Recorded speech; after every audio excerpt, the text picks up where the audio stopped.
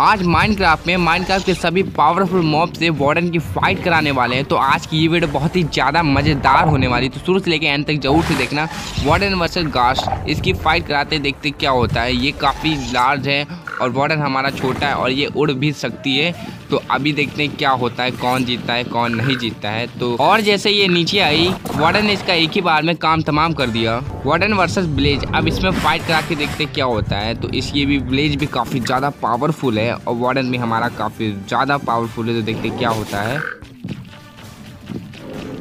हम लोग की उम्मीद थी कि ब्लेज जीत जाएगा, पर यहाँ पे हार चुका है।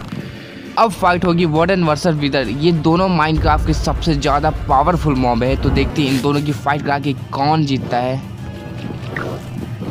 और अगर आप लोग अभी वीडियो को देख रहे हो और वीडियो को लाइक नहीं किया तो बहुत ही बुरी बात है। तो आप लोग वीडियो को लाइक कर दो और चैनल को सब्सक्राइब भी कर लो। और हो सके तो बेल नोटिफिकेशन ऑल पे सेलेक्ट कर देना, क्योंकि इस तरह की वीडियो आएँगी तो आप तक पहुँच जाएगी बहुत ही आसानी से। और इन दोनों में से कोई हारने का नाम ही नहीं ले रहा है। यहाँ पे काफ़ी ज़्यादा फाइट हो रही है। मैंने स्पीड भी तेज़ कर दी है, क्योंकि बहुत ज़्यादा लंबी वीडियो हो चुकी थी। इसलिए मैंने काफ़ी स्पीड कर दिया। फिर भी यहाँ पे ये लोग हार ही नहीं रहे। कोई भी नहीं हार रहा है। तो देखते कौन हारता है। तो ये काफ़ी ज़्यादा इंटरेस्टिंग होने वाला है। कौन हारता है?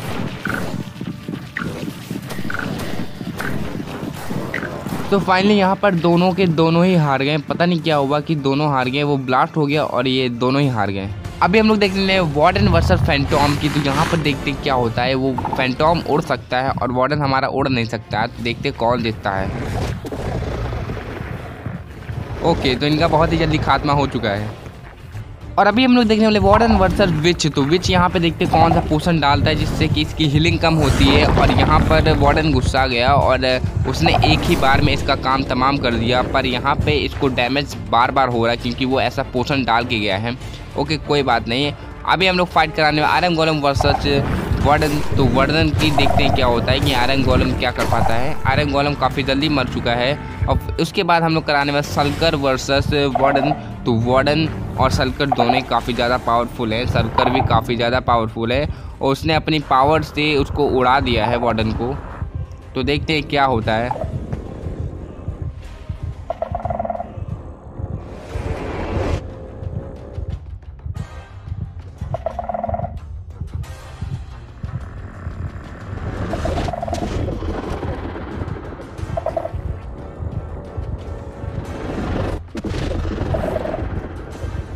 और यहाँ पर काफ़ी ज़्यादा फाइट होने के बाद यहाँ पर वार्डन हमारा जीत चुका है। तो ये है वीडियो का एंड और आप लोग ने अभी चैनल को सब्सक्राइब नहीं किया तो चैनल को सब्सक्राइब कर लो वीडियो को लाइक कर दो। मिलते हैं नेक्स्ट वीडियो में। Take care bye bye thanks for watching this entire video